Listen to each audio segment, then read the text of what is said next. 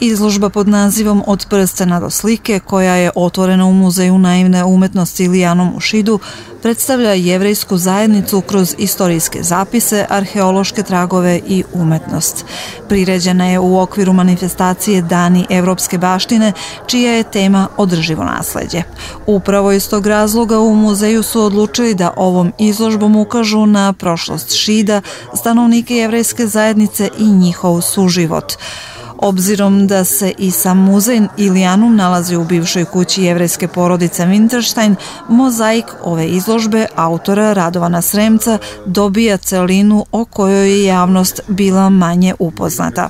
Mi smo se odlučili iz više razloga za ovu izložbu. E, prva je ta što se mi nalazimo u jednom izuzetno specifičnom objektu koji je, ima dosta zanimljivu istoriju za šid.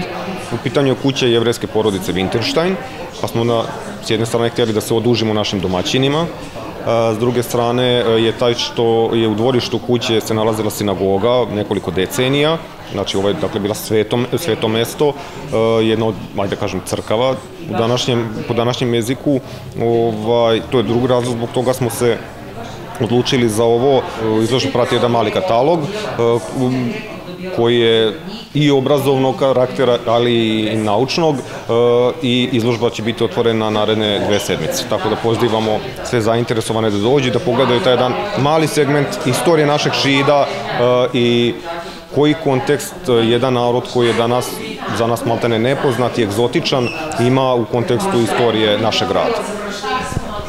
Izložba obiluje pisanom i fotodokumentacijom. Izložen je prsten iz antičkog doba, zatim prikazan videozapis o životu jevrejskih porodica na teritoriji Šitske opštine, a sve to ima poseban značaj za malu progresivnu zajednicu koja je na ovim prostorima ostavila dubog trag. Ljudi jako cijene ovakve izložbe i ovakve inicijative.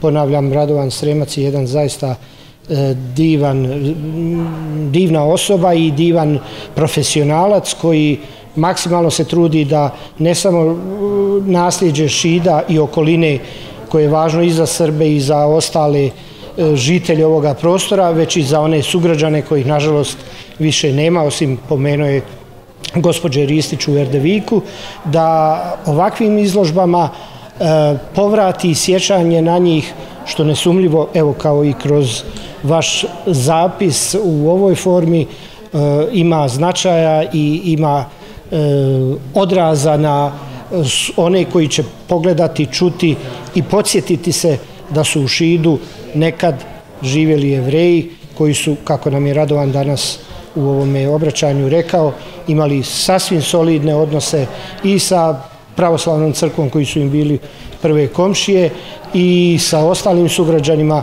a vjerujem da ovakve manifestacije, upravo ono što je on rekao, kod ljudi koji potencijalno imaju neke predrasude, te predrasude se razbijaju i, i dobija se prava slika onoga što je činilo suživot na ovom prostoru. Izložbu prati katalog u kojem je autor detaljno izneo sve važne činjenice vezane za baštinu jevrejske zajednice, čijih pripadnika u opštini Šid gotovo da više nema.